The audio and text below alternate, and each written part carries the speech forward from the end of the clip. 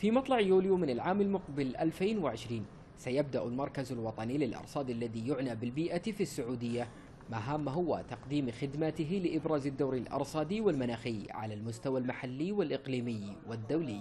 أنشئ هذا المركز بأهداف معينة وسط أو ضمن إطار آه، مؤسسي آه، تنظيمي آه، كذلك يهدف المركز إلى الاستثمار على المدى البعيد هناك أيضا نية للحقيقة بيع خدمات الأرصاد أو بعضها لأن هناك خدمات أو معلومات سيادية.